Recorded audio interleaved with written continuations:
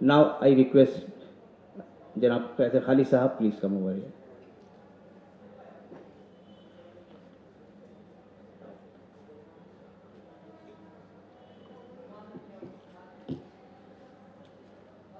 Stage पे मौजूद हमारे मुशफ़ और मुहब्बी वज़ीर इज़्ज़त माब मुख्तार अब्बास नकवी साहब आज ऑनलाइन तरीके से जो जुड़े हुए हैं निगार फातमा मैडम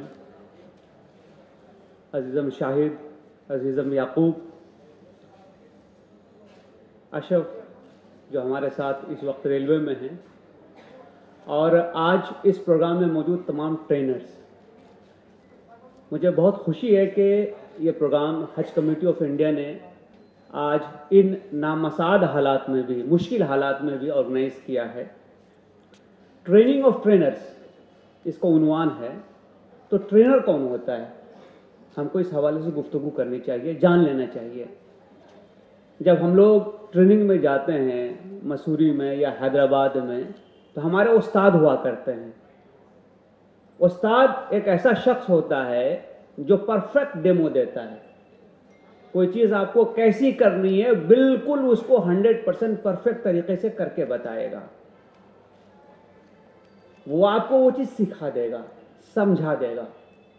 अब मैंने दो लफ्ज़ इस्तेमाल किए हैं यहाँ पे, सिखाना और समझाना। समझाना क्यों? क्योंकि उसूल क्या है, बुनियाद क्या है, इस चीज़ को समझाना बहुत ज़रूरी है। अगर हमने उसूल नहीं समझा तो हम दीन नहीं समझेंगे। फिर हम रसूम को करते आएँगे और रसूम तक महदूद रहेंगे। तो हमें सबसे पहले हज के उसूल को समझना चाहिए, हज क्या है? अगर आप मुताला करें कुरान का तो सूर्य आराफ में किस्से आदमो इबलीस बहुत डिटेल में बयान हुआ है, तफसीली बयान है। अल्लाह ताला जब इंसान को मुखातब करते हैं, कुरैश उस वक्त जो है, उनका ऑडियंस है, उसको बता रहे हैं कि तुम्हारे बाप आदम के साथ शैतान ने क्या मामला किया? तो शैतान ने जो मामला किया, उसकी वजह से आदम को इस इम्तिहान की दुनिया में आना पड़ा। और वहाँ पे शैतान ने जब रब खुदावन को चैलेंज किया है तो उसने ये कहा है कि मैं तोहीद की सीधी राह पे, सिरात मुस्तकीम पे घात लगाऊँगा और दाएँ से और बाएँ से और सामने से और पीछे से इसको बेराह करूँगा। तेरी जो स्कीम है कि इंसान इस दुनिया में पाकिज़ा ज़िंदगी गुजारे, उसको कामयाब नहीं होने दूँगा।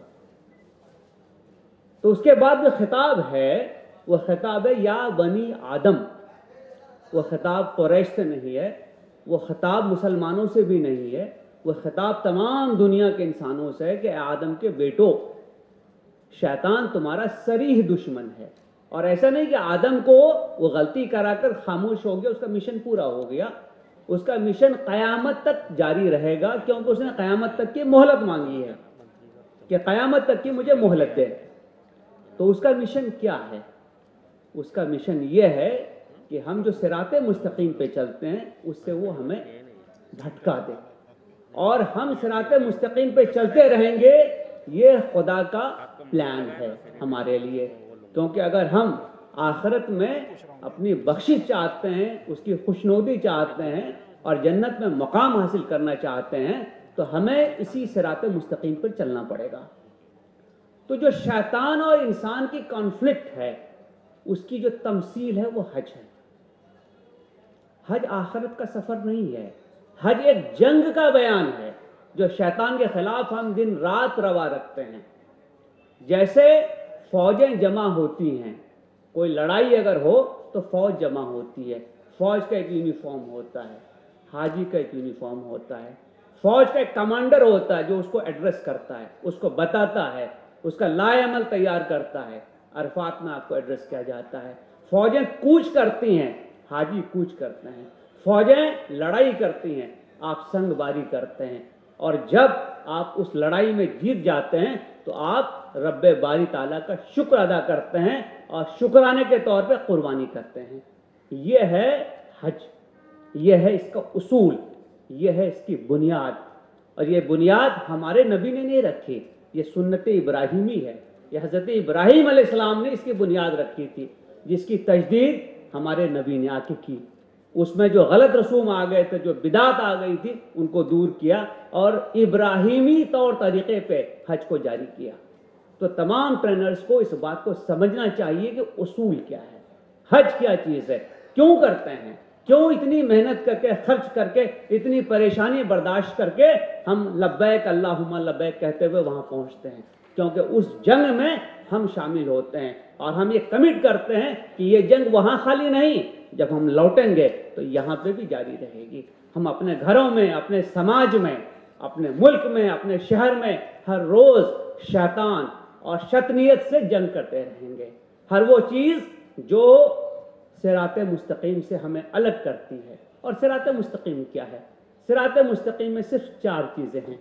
एक, इबादात, जो आपको आपके रब से करीब करती है। और तीन चीज़ें हैं पाकिजगी की।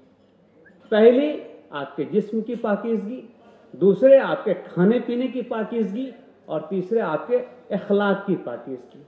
तो सारा झमेला जो है, वो अखलाक की पाकिजगी पे है। क्योंकि हम हर जुमा में ये बात कहते हैं कि हम जो है, एहसान का रवैया रखेंगे, हम अच्छाइयों की तरफ़ आने वाले होंगे, हम अपने अज़ीज़ अकरबा आसपास के जो लोग हैं, उनके साथ अच्छा बिहेवियर रखेंगे और हम जो है, बगी से दूर रहेंगे। हम समाज में जो एक्सेप्टेड बुराइयाँ हैं, उससे दूर रहेंगे। वल अम्र बिल एहसान, व ईताजुलक़ुरबा व यनहाफहशा वल मुनकर वल बग। ये जुमला हम हर जुमा के खुतबे में सुनते हैं। शायद हम उस पर गौर नहीं करते। तो जब हम सोल्जर हो जाते हैं, सिपाही हो जाते हैं तो फिर हम डिसिप्लिन में रहते हैं। मैं पुलिस में हूँ, मुझे एक डिसिप्लिन लागू है। जो फौज में उन पर एक डिसिप्लिन लागू है। ज़िंदगी के हर शोबे में एक डिसिप्लिन लागू है। वो डिसिप्लिन क्या है? कि अपने नफ्स को हम पाकिजा रखें। ये डिसिप्लिन हम वहाँ जाके सीखते हैं। एक ट्रेनिंग हो जाती है। लेकिन वहाँ से आने के बाद ये ख़त्म नहीं होता। जब तक हमारी आँख बंद नहीं होती, तब तक ये डिसिप्लिन हमारी ज़िंदगी में होना चाहिए। तब तक ये तरीक़ा हमारी ज़िंदगी में होना चाहिए। तो मैं तमाम ट्रेनर से यही गुजारिश करूँगा कि जब आप लोगों को ट्रेनिंग दें तो आप पहले ये बताएँ कि आप क्या कर रहे हैं, क्यों कर रहे हैं, इसके मकसद क्या हैं। ये कोई रस्मों का मजमुआ नहीं है, ये कोई तफरीह नहीं है, ये कोई तजारत का भी ज़रिया नहीं है। ये बुनियादी तौर से आप शैतान के खिलाफ एक जंग लड़ने जा रहे हैं और उस जंग के लिए पहले से तैयारी करनी होती है। ऐसा नहीं कि मैं बहुत मोटा और दौड़ भी नहीं सकता, मैं फौज में शामिल हो जाऊँगा। मुझे तैयारी शुरू से करनी पड़ेगी और मुझे आने के बाद भी तैयार रहना पड़ेगा, क्योंकि ये जंग कभी ख़त्म नहीं होने वाली है। तो इसीलिए हम लोग खुदा के हुजूर में दुआ करें कि इस जंग में हम कामयाब और कामरान हों और जब हम आखिरत में उठाए जाएँ तो हम शर्मिंदा ना हों। शुक्रिया।